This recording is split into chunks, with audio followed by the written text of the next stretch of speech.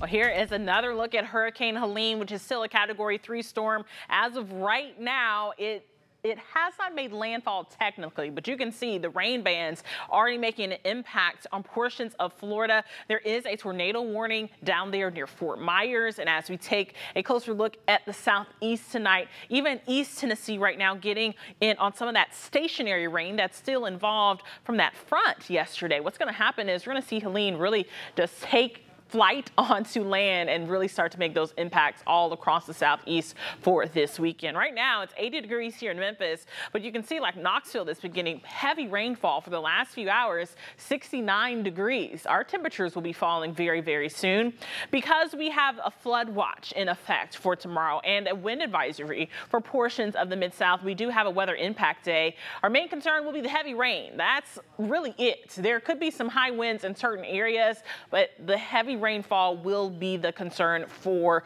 your Friday. And it's all thanks to this hurricane as of right now. This is the latest advisory. It has officially just hit 130 miles per hour. So we're going to see if they up the scale on it just a little bit. Uh, our last advisory is 520 p.m. The issue them a little bit more often as this storm gets closer and closer to landfall. In fact, there it is. It is a category four storm now before it makes landfall.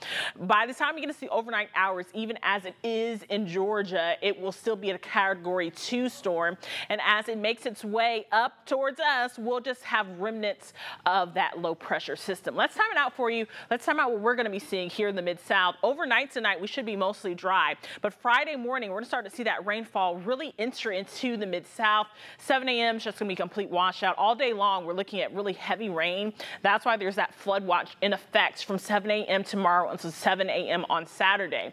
You can see the rainfall slacks up just a little bit on Saturday, but we're going to have some lingering cloud cover. In fact, as we put in motion to our extended future cast, that rainfall will start to slack up just a little bit, but then we have a chance for some spotty showers throughout the day on your Saturday and your Sunday. What you're looking at is exactly exactly what we saw when we saw the remnants of Hurricane Francine come through the Mid-South.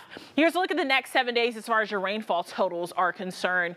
Because we are expecting less impacts from that storm, maybe anywhere from one to maybe four inches on the higher inside, and that would be around Dyer County. But here in Shelby County, maybe two inches, and down in North Mississippi, maybe an inch to an inch and a half.